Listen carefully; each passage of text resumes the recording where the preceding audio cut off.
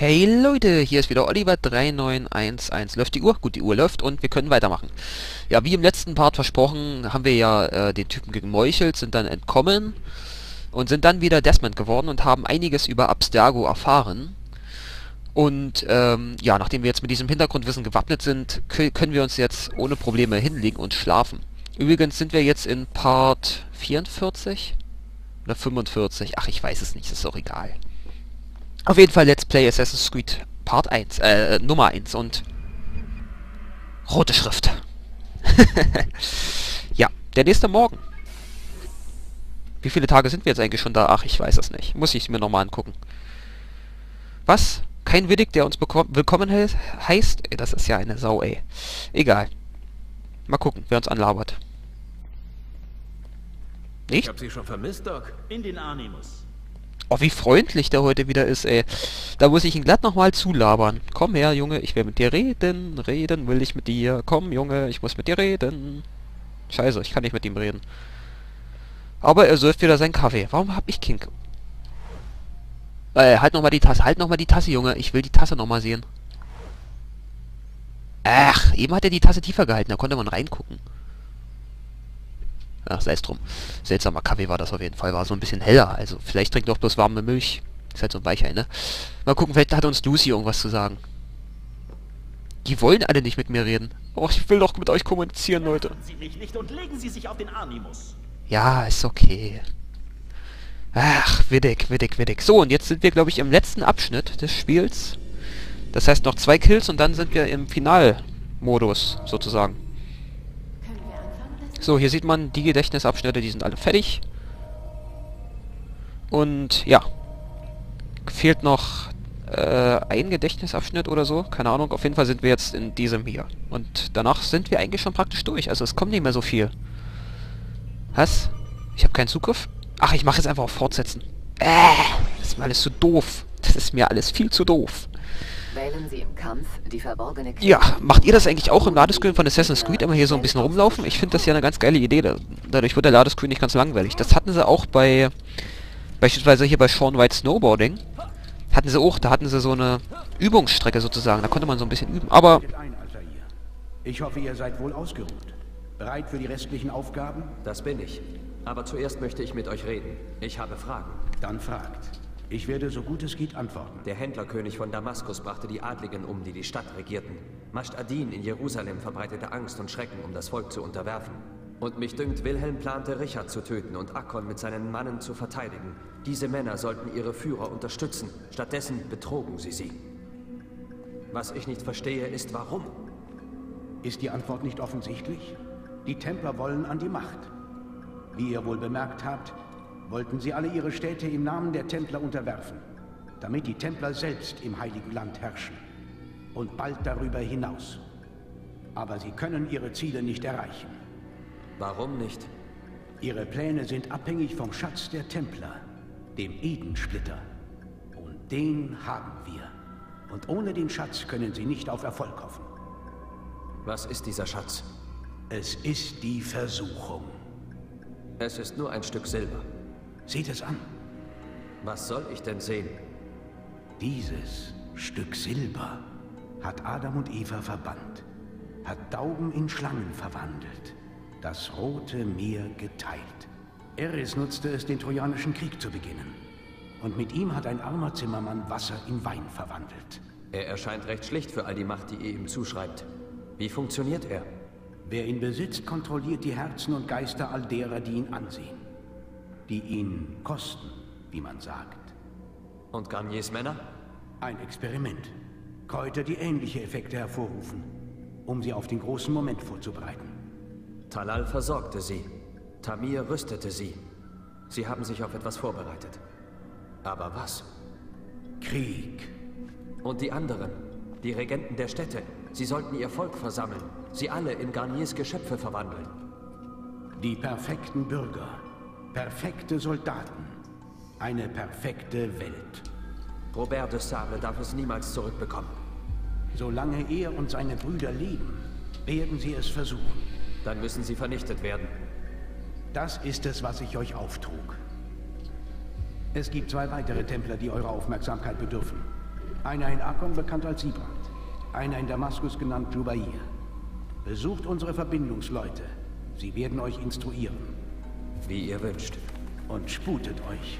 Zweifellos machen unsere vielen Erfolge Robert de Sable nervös. Seine Gefolgsleute werden alles daran setzen, euch zu entlarven. Sie wissen, dass ihr kommt. Der Mann im weißen Umhang. Sie werden euch suchen. Sie werden mich nicht finden. Ich bin nur ein Halm im Kornfeld. Cool. Hier, mein Geschenk an euch. Für die gute Arbeit, die ihr leistet. Ein neues Schwert, ein neues Schwert, ein neues Schwert. Ich bekomme ein neues Schwert. Ich, ich, ich bekomme ein neues Schwert. Ich habe ein neues Schwert und eine DNA-Synchronisation. Ist das nicht toll? Es ist so toll. Ich bin der Held. Ich bin so cool. Ich bin der Größte. Ich bin der Größte. Und wir können jetzt Verteidigungen durchbrechen. Ja, das ist toll. Da freue ich mich drauf. Und wir werden jetzt Verteidigungen durchbrechen. Ja, und wir können im Hof trainieren. Und ich glaube, das werde ich auch mal trainieren. Weil äh, das ist, glaube ich, eine Fähigkeit, die man trainieren kann, sollte und vielleicht auch muss. Weil die habe ich so selten benutzt. Aber ich habe mein Mikro wieder angemacht, ja? Könnt ihr mal gucken, ob mein Mikro an ist, weil ich bin gerade zu faul. Ich, ich, ich trainiere gleich mal. Altair, mich dünkt, meine Schüler verstehen nicht ganz, was es heißt, eine Klinge zu führen. Vielleicht mögt ihr ihnen zeigen, was ihr... Möge ich das wirklich? Okay, mal gucken, was können wir so? Äh, Kampf trainieren, Combo Kill, Con, das können wir schon alles, das können wir schon alles. Griffbrecher können wir, ausweichen können wir, Verteidigungsbrecher. Klingt gut nochmal. Gucken, was das ist. Okay. X direkt nach einem Schritt, um eine Verteidigung des Gegners zu durchbrechen. Hä?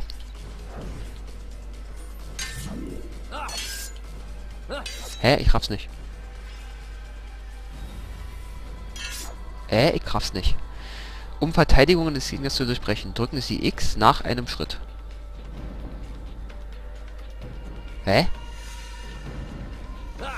Hä? Was muss ich hier machen? Oder muss ich warten, dass der Gegner tritt? Ich raff's nicht. Ich raff es nicht. Was muss ich machen? Hä? Was ist das für eine scheiß Mission? Ach, Moment. Schritt und dann... Ah! Ich glaube, jetzt habe ich es berafft. Ah, okay. Also wir müssen A drücken und dann... Fumps! Nee. A und dann... Fumps! Das Werk eines Meisters. Ah, okay. Und so, Gut. Haben wir wieder was gelernt. Ah, wir lernen immer mehr dazu, ne? Wir werden, werden die übelsten Lerner hier. Übelsten Schleimer und so werden wir jetzt hier. Gut, und jetzt gucken wir mal auf die Karte. Wir müssen nach Arkon und nach Damaskus. Nach Arkon, das ist ähm, der Führer des Deutschen Ordens, das weiß ich noch. Daher nehmen wir uns den als letztes ähm, vor und gehen nach Damaskus. Weil den finde ich gut, den, ähm, es ist schon eine Anspielung an sich, ne, den Führer des Deutschen Ordens. Aber gut, darauf wollte ich jetzt nicht eher, ne, mehr eingehen, weil ich glaube, ich bringe das sowieso schon wieder durcheinander und deswegen warten wir dann da drauf. Auf jeden Fall war das so ein, so ein, so ein Typ, der nicht an Gott glaubte. Also praktisch gesehen ist er mir schon wieder zu sympathisch. Ich kann ihn deswegen nicht töten. Weil ich bin ja selber Atheist, aber gut, sei es drum. Wir gehen jetzt nach Damaskus. Beziehungsweise wir werden dahin reiten. Und dann werden wir mit dem Bürgerleiter dort sprechen und dann ist gut. Weil ich hab dann auch selber erstmal nicht mehr Lust für heute. Und äh, es, es nervt mich wirklich, dass man auf der Konsolenversion nicht direkt äh, am Tor auswählen kann, wo man hin will. Das wäre nämlich echt geil und praktisch und bla. Ja, aber so langsam entwickelt sich auch die Story zu Ende. Also man merkt allmählich, dass die Story demnächst zu Ende ist von Assassin's Creed. Und viel kommt auch nicht mehr. Wie gesagt, die beiden Kills noch und dann geht im Prinzip wirklich richtig das Ende der Story los.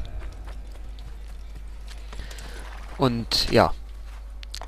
Wie gesagt, das Ende, das ist wirklich gut gemacht. Aber also entweder die meisten von euch kennen es schon oder kennen es noch nicht. Mehr Möglichkeiten gibt es eigentlich nicht. Aber ich werde auf jeden Fall nicht spoilern und äh, ja. Wenn ich einen Spoiler-Kommentar von euch entdecke, dann wird der gelöscht. Aber ich hoffe doch mal, dass ihr nicht spoilern werdet. Übrigens hoffe ich, dass ihr die letzten Videos immer schön bewertet habt und auch immer schön Kommentare hinterlassen habt, weil ich habe vergessen, das zu sagen, dass ihr das machen sollt. Daher mache ich das jetzt wieder. Immer schön bewerten und einen Kommentar schreiben und dann ist super. Dann ist wieder alles toll. Und wie viel Zeit haben wir noch? Fünf Minuten noch? Da ist noch ein bisschen, da ist noch Luft, da ist noch Luft nach oben. Und ich habe gesagt, ich will nach Damaskus. Wir waren ja auch jetzt schon in Arkon, daher ist jetzt ein bisschen Abwechslung wieder ein bisschen schön. Und jetzt haben wir wieder Ladescreen und hatte ich eigentlich schon alle Türme und sowas im, im, im Königreich gesammelt? Das weiß ich nämlich nicht mehr. Ah, da können wir im DMA-Log nachgucken. Das steht nämlich, glaube ich, im DMA-Log drinne. Und wenn nicht, dann nicht. da muss ich nachgucken. Da muss ich echt nachher gleich nochmal nachgucken. Weil die würde ich auch schon gerne haben wollen, noch da alle Türme. Ach, jetzt ist es ja wieder diese Mission, wo wir so übelst irgendwannes ähm, quatschen können. Und das ist was anderes. Zusätzliche Erinnerungen ist es, glaube ich. So, äh, Erinnerungs, äh, Erinnerungsaussichten. Ach so, okay, wir haben erst 83% erklommen. Alle Templer töten. Gut, Templer fehlen uns noch ein bisschen. Assassinenflaggen haben wir auch noch nicht alle. Hospitaliter-Flaggen haben wir nicht alle. Oh Gott, oh Gott. Sind das viele Flaggen, ey. Hier deutscher Ordenflaggen. Die werden uns dann demnächst an Akkon begegnen. König Richard Flaggen. Aha. Jerusalem Kreuz. Das heißt, ich muss demnächst nochmal irgendwann ins, ins Königreich, um da dann noch die letzten Türme zu sammeln. Jetzt habe ich... Jetzt will ich nochmal gucken, wie viele das eigentlich noch sind. Dann mache ich das vielleicht am Ende in späteren Parts nochmal. Also zwei, zwei fehlen noch, okay. Dann mache ich das vielleicht in einem der späteren Parts. Vielleicht dann, wenn wir mit der Mission fertig sind, dann werden wir danach nochmal ins Königreich reiten. Und das ist gut. Und jetzt kommt wieder, wieder diese Immernis-Musik. Ich mache mal ein bisschen lauter.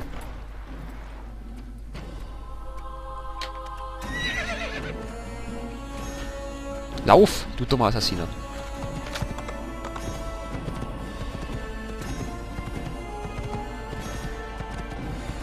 Finde die Musik schön. Ich finde die schön.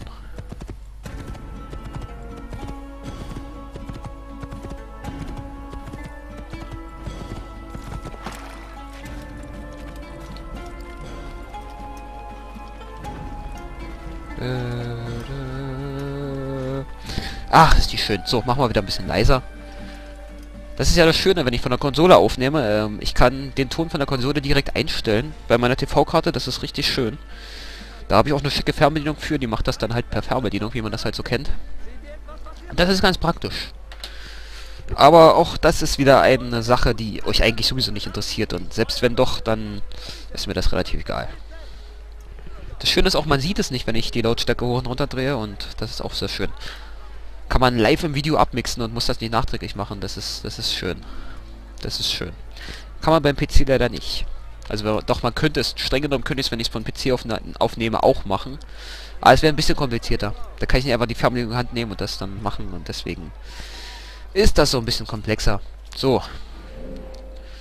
Und hier haben wir jetzt das Bürgerviertel nur noch übrig, das ist schön. Und werden jetzt erstmal zum Büro gehen. Und das einfach ganz schnell. Äh, puh, wo war denn hier nochmal das, das Büro? Das ist ja so weit. Das ist ja so weit. Und dass die hier alle Krüge auf den Töppen... Krüge auf den Töppen tragen. OMG, mein Deutsch ist ja so richtig geil heute mal wieder. Hier sind noch ein paar Mönche. Weiß der Teufel, was die hier rumrennen, aber gut, sei es mir. Und die Wachen, die sind auch nicht wirklich sonderlich aktiver geworden. Die sagen ja immer in jeder, nach jeder Killmission, die Wachen werden ag aggressiver, sie werden die schneller entdecken, aber in Wirklichkeit tun sie es nicht.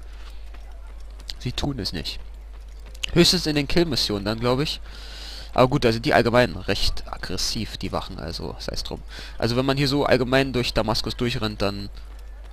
Damaskus, wir sind Damaskus, ne? Äh, sei es drum. Äh, okay, das war jetzt auch ein Fail wie er da dasteht und einfach mal so guckt, ne? Äh, leck, leck, äh, lol. Ach man, jetzt, ach, da ist man gerade hochgekommen und dann lässt man sich wieder fallen. Sei es drum. Ist egal. Ich will jetzt in diesem Part aber noch die Sequenz schaffen. Komm, mach hin, mach hin. Ich muss da hoch, ich muss da hoch, weil ich kann es und darum ist das schön. Ja. Oh, jetzt ist hier wieder so ein Scheiß. Oh, das geht mir auf den Sack. Oh, warum machen die das dahin? Warum machen die das dahin? Ey, das ist doch echt die... Och. Alter, es geht nur um den Sack. Ich will da hoch. Ich habe keine Zeit. Ich will... Ich will den Part überziehen müssen. Naja, sei es drum. Ist ja Standard auf YouTube, dass man Parts überzieht, ne? So, und wo ist jetzt... Da ist es. Okay. Büro des Verbindungsmannes. Naja, gut. Fast skillig. Fast skillig. Okay. Wer, wer war hier nochmal? War hier der Dings? Oder... Ich weiß es nicht. Der Held von Damaskus. Tretet ein, verweilt und berichtet mir von euren Abenteuern. Ich fürchte, dazu fehlt mir die Zeit. Ah ja. Seid ihr nun zu wichtig für mich? Das ist es nicht. Nein, nein, natürlich nicht. Wie kann ich euch dienen? Al-Mualem befahl mir, das Leben eines gewissen Jubair zu beenden. Ah, Salah al-Dins führender Gelehrter. Eine wunderliche Wahl, wenn ihr mich fragt. Aber wer bin ich, um des Meisters Willen anzuzweifeln? Er wird seine Gründe haben. Dann kennt ihr also den Mann? Er war jüngst sehr beschäftigt. Er organisiert die Gelehrten und schickt sie raus, um zu predigen. Und was predigen sie? Licht und Feuer, Läuterung der Sünde, apokalyptischer Unfug, wenn ihr mich fragt. All das Geschwätz von Wegen und einer neuen Welt. Was für eine neue Welt. Weiß nicht. Ich achte nicht auf das Gewäsch von Geisteskranken. Dafür habe ich viel zu viel zu tun. Nun gut. Ich mische mich unter das Volk und sehe, was ich in Erfahrung bringen kann. Wo schlagt ihr vor, soll ich suchen? Südlich von hier sind eine Akademie und ein Wachturm. Dort solltet ihr fündig werden. Zudem gibt es ein Hospital im Osten, das ihr besuchen solltet. Ich beginne sofort. So voller Tatendrang. Ihr habt euch verändert. Zum Besseren möchte ich hinzufügen. Oh, okay. Warum kann ich den eigentlich anvisieren? Verstehe ich nicht. Na gut, dann wäre das an dieser Stelle beendet und ja, ich werde noch schnell zum nächsten Savepoint gehen, weil das Spiel sollte jetzt ja jeden Augenblick speichern und dann ist gut, dann ja, da wird das Spiel gespeichert und wir sehen uns im nächsten Part wieder. Ich bin Oliver 301 und bewerten Sie und hauen Sie hinein. Tschüss!